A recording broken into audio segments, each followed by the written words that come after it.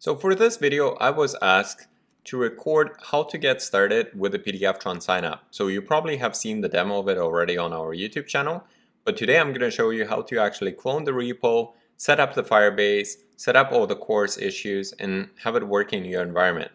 Now that being said that PDFtron sign app can actually be used uh, in any database, in any setup. You don't have to use Firebase, but I just picked one because in my opinion, Firebase was the most easiest to get started.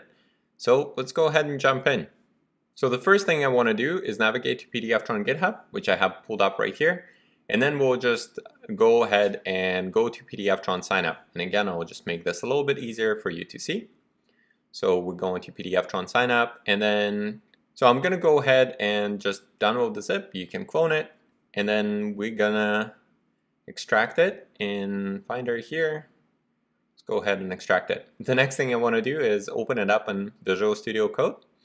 So let's go ahead and open the folder and we'll just open the downloads where we cloned it, open it.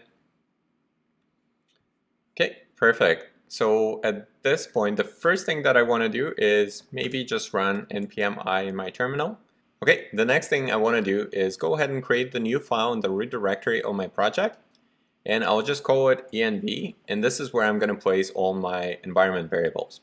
Now, back on uh, kind of the GitHub, there's a bit of a README that you can follow kind of for the steps. So we did the first step where we went ahead and installed it, and now we're going to set up the Firebase uh, configuration.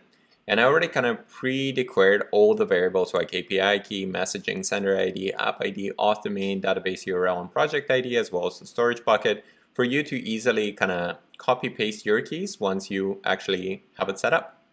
So let's just go ahead and copy this in our newly created env file available in our VS Code. Um, paste it in. So at this moment, I just have the placeholder string, so we're gonna go ahead and replace them. So what I'm going to do is navigate over to the firebase.google.com and then after that, uh, once you logged in with your account, you can actually go to console. And yeah, let's see what's happening here. So as you can see, I already have the project set up here, but what I'm going to do, I'm just going to go ahead and kind of start it from scratch just so you get all the steps. So I'm just going to call it PDFtron sign app 2. Okay, and we don't need Google Analytics for this project, so we're going to go ahead and create the project, provision all the resources for it, and kind of go from there. Now our project is ready. Let's go ahead and set it up. So for this project, we will need the database and we'll need the storage where we're going to be placing our signed PDFs or when the user uploads the PDFs. So we got to set up the storage and we got to set up the Firestore uh, to kind of save our database entries. And then I also use the authentication uh, through Firebase. So we just need to kind of set up three pieces. Set up authentication because it's the first thing. So let's say get started. And then what we want to do is we want to enable email and password to be true. So we'll allow users to sign up using their email and password. And I'm not going to enable this one, but you can do so on your example. And then I want to enable signing in with um, the Google one. So I'll hit enable on this one. It's asking for project support email. You can just enter yours, probably the account you've signed in with. So I believe uh, authentication portion taken care of. Uh, looks pretty good. So, and you, you also see the authorized domain, so it's going to be your local host for testing environment. And then you actually have a PDFtron sign app, Firebase if you want to deploy it uh, later on. Okay, and then there's a couple other settings that you can do, one account per email address and so on. I think that's pretty good setting, so we can just uh, leave it as is. The next thing I want to do is set up storage. Um, so this is where we're going to be kind of storing our PDF documents when the users upload them for signing. So actually it looks good to me. So we'll just hit next. And after you set this location, cannot be changed later. Uh, cloud storage location, Europe West, US Central. Let's see if there's anything else. For me, US West probably would be closer, but I would just keep it as US Central since it's suggesting. Not sure kind of how it figures out whether or not which location is better or not. Okay, so we have set up our storage. It's just creating a default bucket. Um, that's where we're going to be placing our files. Okay, nice. And double check our rules. Our rules looks good here. So it says if we don't pass, if we don't pass an authentication token, uh, then we should not be allowed to write to this bucket, which makes sense. A user should be logged in and authorized to write to the bucket. And then the, the last piece that I want to do is set up the Firestore for our documents. And we're going to go ahead and start in test mode. And I think we can actually have the better permissions for the Firestore. So we can set up the rules and we can actually match the rules to be very similar to um, our bucket. So I can set it up. Oh, I can actually edit it right now. Let's let's go ahead and set it in test mode, and then we're gonna hit next. Place it in the same location as our uh, storage location. So just so they are in the same region. And then I'm gonna edit the rules to actually match them to be very similar um, to to our bucket. So in I'm just gonna kind of copy paste it over and delete the previous. So pretty much if you can see here what we're doing is we're matching them to be the exact same way in the storage. So if the request author header is not passed, you know, we're not gonna allow anybody to write it. So we're just gonna go ahead and publish it. And yeah, we'll create a new rule. That looks good to me. So we'll have our Firestore, we'll have our storage set up, and we have our authentication. So we have all the pieces we need for the, the PDFtron sign app to be up and running. So the next thing I want to do is actually go ahead and app and add the app to get started. So actually kind of plug it in to, to our uh, workflow. So to do that, uh, we will connect our uh, web app and we're just going to give it uh, PDFtron sign app to and I'm going to register it. And then here's all our keys that we need. So it has the API key, auth domain, project ID, storage bucket, messenger sender ID, and app ID. Again, please make sure you use yours. I'm going to delete this project right after. So uh, if you paste in those numbers, they're not going to work.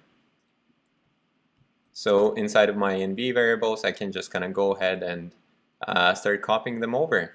And the last one that I'm missing, I'm missing my database URL.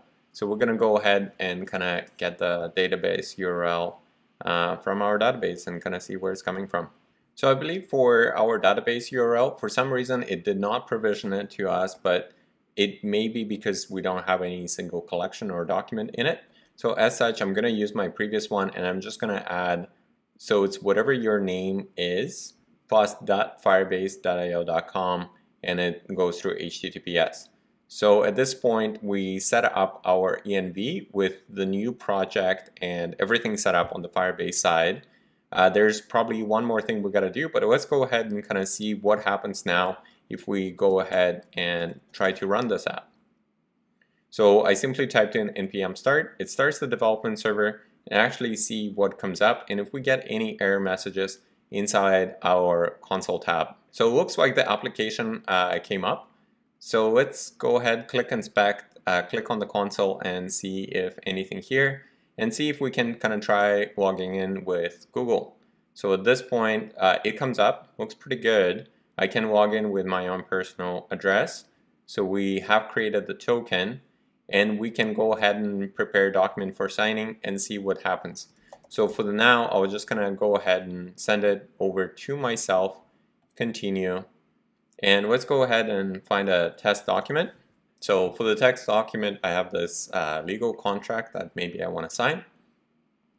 So, okay, perfect. Let's go ahead and add a signature to it. So this is where I want to sign it. Maybe want to resize it a bit more just to make it a little bit friendlier here, not as big here. Okay, and at this point it looks good. So let's actually go ahead and send it out. So now what should happen, it should place the document inside of our database. And let's actually go back to our Firebase kind of uh, setup that we had and see what it starts to look like now. So as you can see storage, so PDFtron, as you can see that the storage actually put the PDF inside of it, very good. And then our Firestore actually created the collection as needed. So I'm not sure why it didn't work, but uh, my, my kind of workaround fixed um, the issue. So we'll have the documents to sign. As you can see, it has the all the information from who, who should be signing it, whether or not it was signed, and signed by and signed time, as well as the users. So I logged into this application and kind of placed it. So I have my photo URL, email, and display name. So this is all the application really collecting from the users, which is not too bad.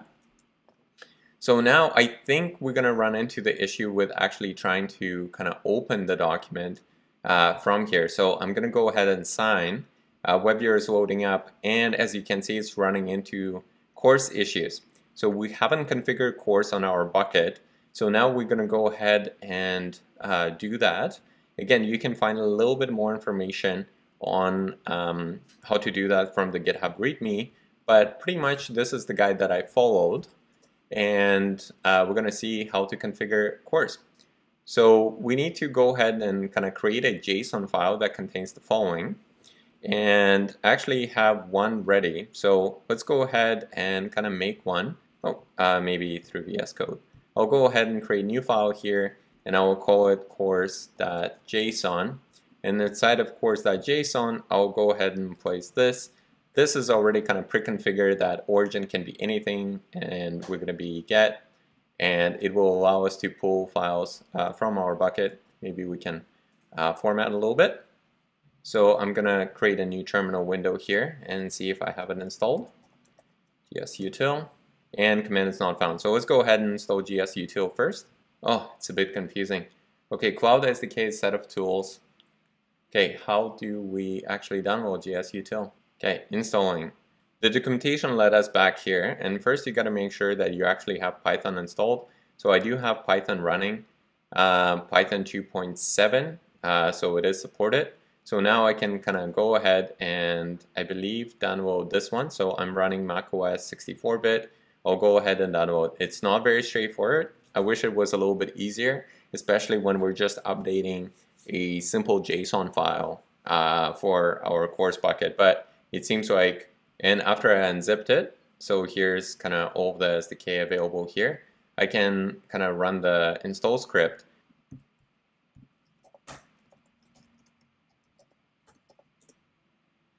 Okay, so to, to run the script, you just got to type in sh install.sh. And I'm just going to skip this one over. And I want to continue. I think that's fine. Okay, perfect. So now it installed and added it to the path. We can go ahead and run gcloud init and it will actually go ahead and kind of log you in. So now I'm just gonna, it popped open a URL here. I'm just gonna log in with the same account uh, that you have used uh, to set up. Okay, so now we're authenticated Google Cloud SDK. So now we can start updating our bucket. Ooh, that was a lot of steps. Um, so now the next thing we want to kind of get back and configure the cross origin. So now that we have the GS util set up, uh, we just need to kind of set the JSON file name from where it is. And then after that, provide our bucket name. So let's go ahead and get back to our VS Code terminal, kind of minify that so we can, we can kind of see the command. And again, just make sure that you actually restart that um, server just so you have access to it. And after that, you can type in gsutil cors set. Um, and then JSON file name is just going to be within this folder. It's going to be cors.json. Okay, cors.json, and then provide the address uh, of your bucket. And we've created it inside of the env here and our bucket is storage it's this one right here but we just got to prepend it with a gs and then provide the bucket name here this is our bucket name great okay so I think this command should work yes it worked the first time so now um, let's get back to the first terminal our app is still running at localhost 3000 if we go back and try to pull this document over from our bucket now. Boom, as you can see, it came over. It looks good. And check it out, the sign here field is here and our project is set up. So I can go ahead and create the signature, I can sign the document, and I can complete signing, and after that it's going to be complete. So at this point, I showed you everything you need to know to set up PDFtron sign app. Again, you can try to switch around technologies and try to launch it with maybe AWS or Azure or any of the other service providers kind of for storing information. I'm curious to see what you think and kind of what your setup that you chose for the backend for this specific app. Uh, let me know in the comments below. Thanks so much for watching.